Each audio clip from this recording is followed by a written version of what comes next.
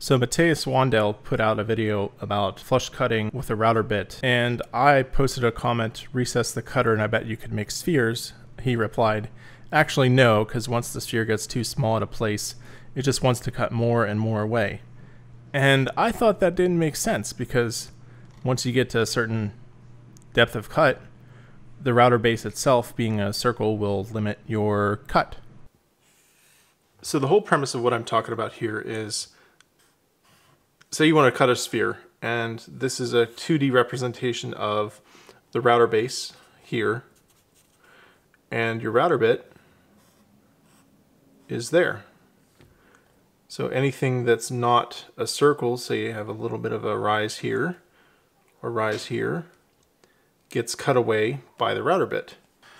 This can be used to cut a sphere.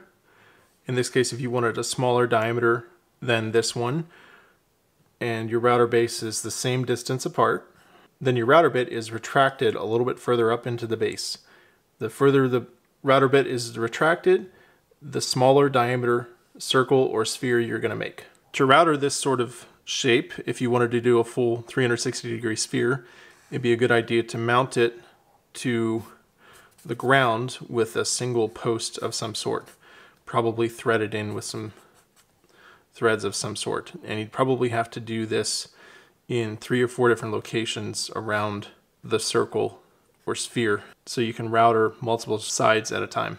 My theory extends a little bit further that you are not able to do a concave surface like this with the router bit extending to the bottom there. First you would need a round nose router bit and anytime the router base encounters some sort of bump, that would lift the bit here, which is the opposite of what you want. So my theory is that this would not be feasible.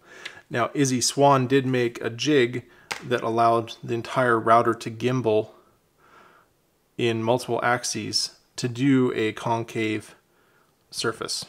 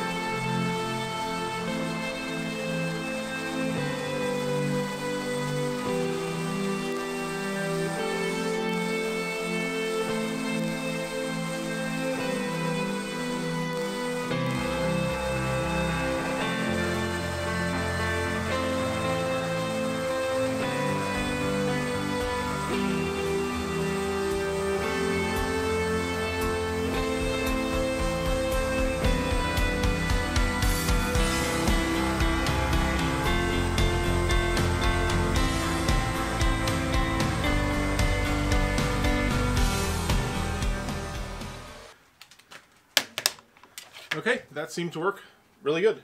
Um, this is supposed to be a prototype, but since it works so good, I'm going to stop here. Uh, also, the kid's probably going down for a nap right now. And this looks pretty spherical to me.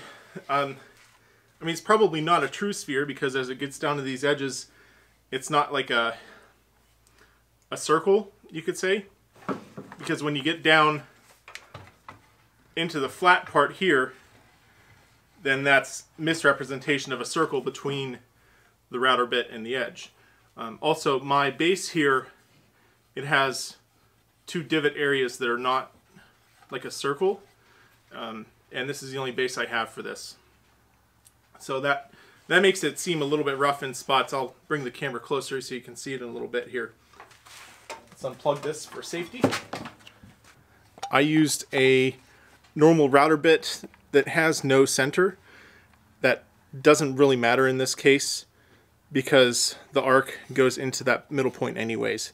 It might actually be better because you're having most of your cutting being done at a radius other than zero because if it was a cutter that went all the way to the middle, all your cutting would be at the tip of the radius in the middle. I had to adjust the depth only three times.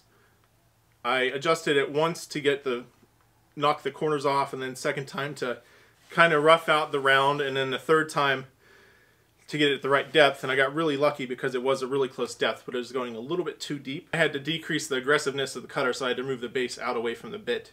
And that allowed it to smooth it out. It seemed to before I moved to the base out, it was cutting and cutting. It just kept cutting the whole way down, so it would just keep going down because the radius it was trying to cut was too small for this size of log. This is a six by six. It's actually, I think, it's actually five and a half square. And that took me, uh, I don't know, maybe 10 minutes to do. So that's pretty fast. And this is not a beefy router. This is uh, just a Ryobi like 1.75 horsepower unit. I forget, I think this is a half inch bit. And I had to use the the shortest bit I have. Like I have an inch bit, but this is only a half inch long bit uh, because it, anything longer and it would stick out into the base too far. So when I first started, I had the base extended all the way and it was still taking a very aggressive cut. You can see there it's not very long. Also, all the vibrations and movement made my adjuster wheel come off, but the screw's still in there, so that's good. I had set the fan up here because it was blowing a lot of chips, but I really had to put the the guard in to keep the chips from blowing at me. And I got out some bigger safety glasses that have a little better protection.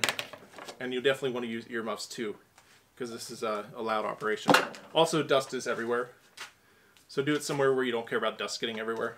This sphere has a diameter that's approximately the diagonal of this five and a half by five and a half log or post which is seven and three quarter. So this is about a seven and three quarter sphere diameter, uh, except like what I said around the edges here.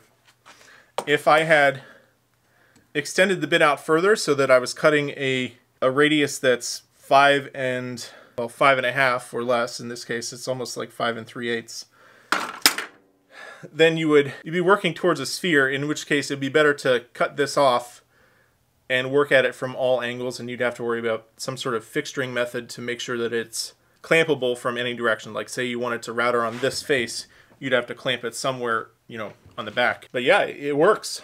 So Matthias Wandel, you're you're wrong, wrong-ish, at least in my case.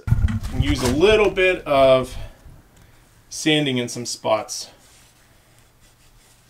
But some 60 grit would probably take that down pretty quick or maybe even a little bit more time with the router with a fine adjustment of, of the depth. There's a little bit of a a ridge, like a bump right there that could be routed off, and then this this valley here. You can see the the bit marks there.